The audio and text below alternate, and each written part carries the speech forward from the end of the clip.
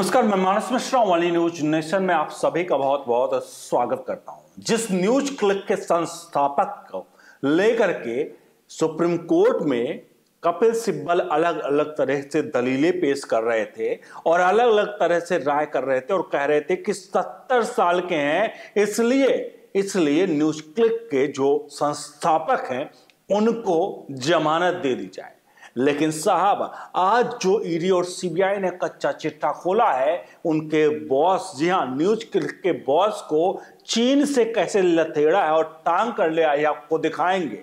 क्योंकि भ्रष्टाचार पर ईडी और सीबीआई ने लुटोरों पर जो तांडव मचा रखा है, जहाँ इस समय सबसे ज़्यादा परेशान टुकड़े टुकड़े गएँगे जो राहुल गांधी और के सारे पर शायद कपिल सिब्बल सुप्रीम कोर्ट में न्यूज़ क्लिक के संस्थापक को चीन द्वारा हो रही फंडिंग से बचाने का प्रयास कर रहे थे। आज वही सारे सबसे ज़्यादा परेशान हैं और पाकिस्तान चीन से पैसा लेकर देश विरोधी गतिविधियों में जो लोग संलिप्त हैं, ऐसे में न्यूज़ क्लिक के साथ साथ तीस्ता शीतल वाड़ का भी नाम प्रमुख है। वो तीस्तासी तलवार जो प्रधानमंत्री नरेंद्र मोदी की सबसे बड़ी दुश्मन, कांग्रेस की नजदीकी सोनिया गांधी का हथियार की गुजरात गुजरात दंगों में किस तरह से प्रधानमंत्री नरेंद्र मोदी को फंसाया जाए? और इसमें एक प्रमुख नाम गौतम नौलक्का का भी है, आता है, जिसमें राहुल गांधी से सीधे कनेक्शन है। इस बात को राहुल गांधी ने खुद कबूला था। और यही वह गौतम लखा है, जिसने पीएम मोदी की हत्या की साजिश रचने वाला भी अर्बन नक्सली है।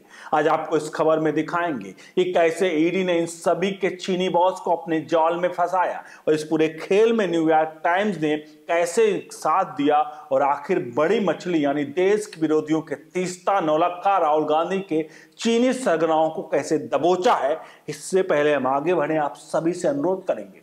वीडियो के कमेंट बॉक्स में अपनी प्रतिक्रिया ज़रूर दीजिएगा और वीडियो को लाइक शेयर ज़रूर करिएगा। चलते हैं खबर की तरफ़। खबर, ईडी ने आज यह कार्रवाई चीन में बैठे आकाओं पर किया है। सूत्र ये बताते हैं कि चीनी एमओयू जो राहुल गांधी ने 2008 में चीन के साथ किया था, उसके अंदर क्या पूरा खेल चल रहा है। हालाँकि ये बात सोशल मीडिया पर चल रही है।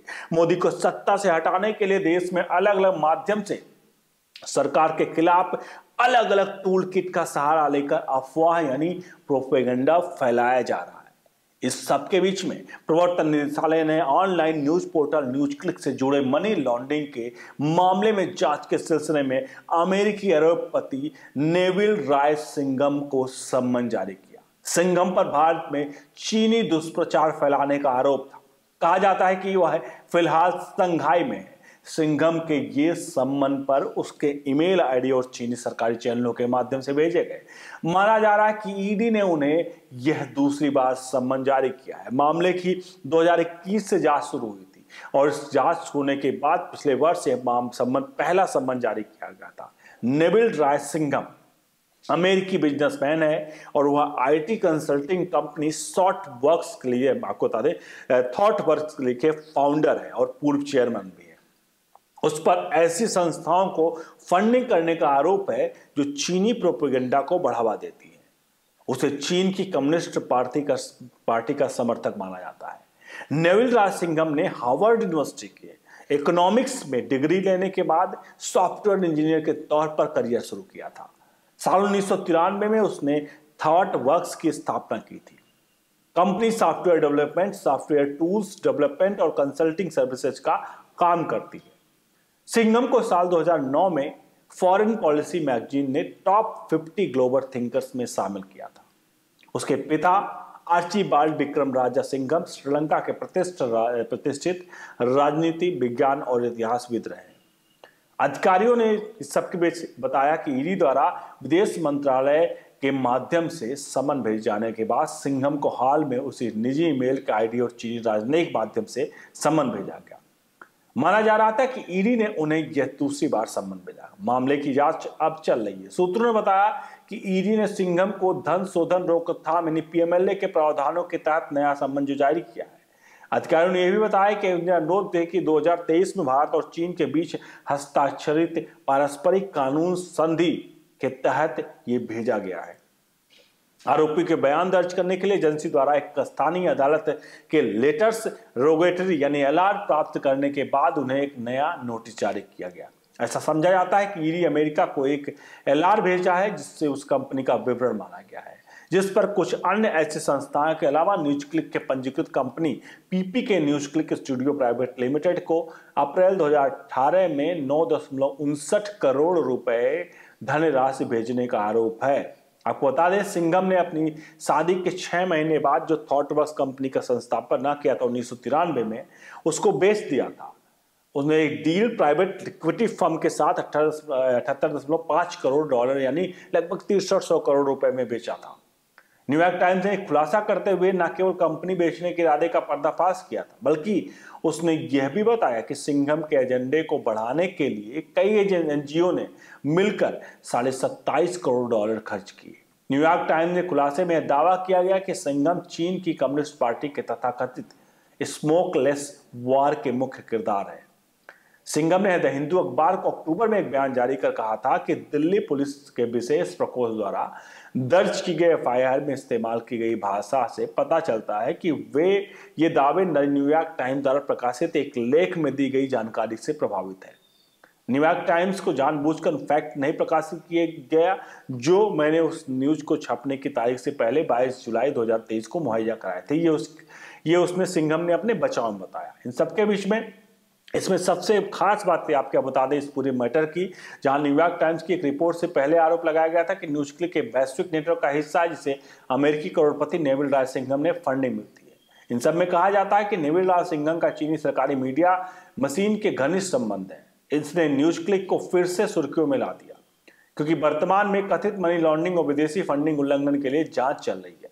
इन सब में न्यूयॉर्क टाइम्स ने बताया था कि नेविल राय सिंघम एक श्रीलंकाई राजनीतिक वैज्ञानिक और इतिहासकार विक्रम राजा सिंघम के बेटे हैं जो न्यूयॉर्क सिटी के यूनिवर्सिटी न्यूयॉर्क के सिटी यूनिवर्सिटी के ब्रुकलिन कॉलेज के राजनीतिक विज्ञान के प्रोफेसर थे। नेविल राज सिंघम जो अब संघाई में स्थित है में स्थित है, का एक वित्तीय नेटवर्क है जो चीनी प्रचार का समर्थन करता है, जो शिकागो से संघाई तक दुनिया भर में फैला हुआ है। न्यूयॉर्क टाइम्स की एक और रिपोर्ट के अनुसार उन्होंने भारत में एक समाचार वेबसाइट यानी न्यूज़ क्लिक को वित्त पोषित किया, जिसने अपनी कवरेज के चीन की सरकार की बातों के साथ प्रसारित किया। बाद में दिल्ली पुलिस ने इस पर साइट पर छापा मारा। न्यूयॉर्क टाइम्स की रिपोर्ट के लगाया गया जो आरोप नेविल राज सिंगम का ये अमेरिकी चैरिटी और गैर लाभकारी समूहों से जुड़े हुए हैं और उनके एजेंडे को बढ़ावा देने के लिए काम कर रहा है। इन प्रचार समूहों को अमेरिका गैर लाभकारी संस्थाओं के माध्यम से वित्त पोषित किया जाता है, जिन्हें दान में कम से कम 275 मिलियन प्राप्त डॉलर प्राप्त हुए।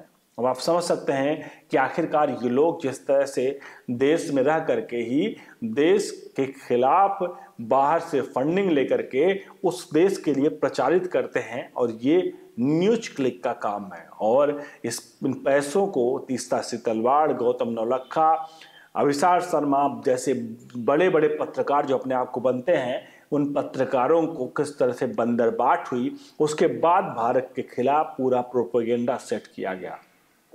कश्मीर को भारत से अलग तक दिखाया गया, लद्दाख को अलग दिखाया गया, और कई ऐसी चीज़ें की गई जो साफ़ तौर पर एक टूल किट के तहत है, जो पूरा गैंग काम कर रहा था टूल किट का हिस्सा बनकर, वो सीधे तौर पर चीन द्वारा फंडेड था, और राहुल गांधी की विचारधारा से समर्थित था, क्योंकि राहुल गांधी ने 2018-19 में एक मंच पर जब गौतम नलखा को गिरफ़्तार किया गया था, क्योंकि वो प्रधानमंत्री नरेंद्र मोदी का और नक्सली गौतम नलखा जो प्रधानमंत्री नरेंद्र मोदी की हत्या की साजिश सच रहा था।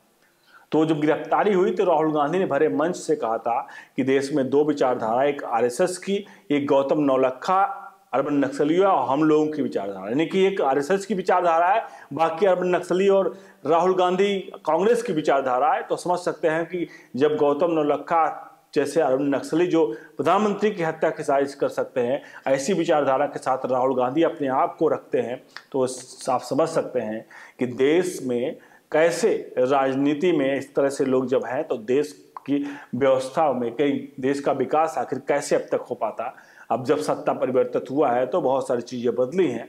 यही कारण है, चीन से लड़ाई ना लड़ने के लिए साफ़ तौर पर कांग्रेस के रक्षा मंत्री ए के एंटनी ने कह दिया था संसद में कि हम डेवलप नहीं करेंगे बॉर्डर को, चीनी बॉर्डर को। अगर डेवलप करेंगे तो हमारे लिए सबसे ज़्यादा घातक होगा। बने रहे ओनली न्यूज़ नेशन के साथ बहुत बहुत धन्यवाद।